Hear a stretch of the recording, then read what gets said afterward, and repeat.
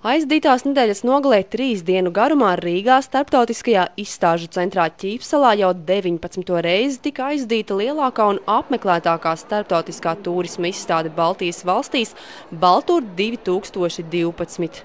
Šajā izstādē sevi spilgti prezentēja arī Latgales reģions, kas apmeklētājus ieinteresēja ar Latgalē piemītošu viesmīlību, sirsnību un piedāvātā atpūtas klāsta daudzveidību. Man jau liekas, ka cīši labi mums te šogad ir, ka te ļauj citi stosta, mums pats skaistākais stends, mums pats lielākais stends.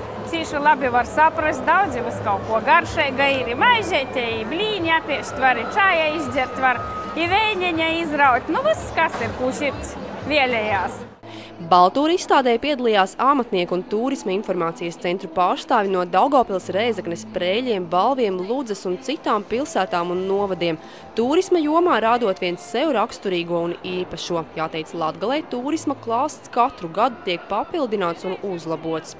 Latgales kopējo stendu veidojam Latgales plānošanas reģiona administrācijā sadarbībā ar Latgales reģiona attīstības aģentūru. Un e, mēs jau kādu desmito gadu pēc kārtas esam apvienojuši spēkus, e, pieaicinot pašvaldības, pieaicinot amatniekus, e, māju ražotājus, lai tas produkts piedāvātais būtu interesants un lai rastos lielākā interese un apmeklētāju skaits, lai gadu no gada pieaugtu Latgalē.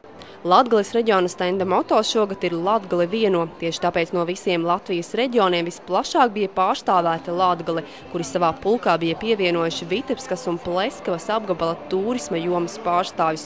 Kopumā pa visām trim izstādes dienām Latgales stendā strādāja 150 atraktīvi cilvēki.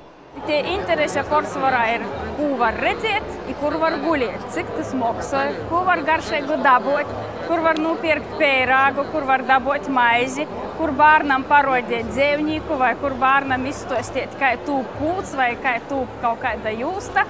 Tā kā es domāju, ka interese ir ļoti liela, strādājam mēs pareizā virzienī. Latgala līdz turisma sezonas aktīvam sākumam sevi turpinās prezentēt dažādās starptautiskās izstādēs, tuvākās no tām Igaunijā un Krievijā. Šādi cerot sagaidīt vasarā lielu atpūtnieku interesi no dažādām valstīm.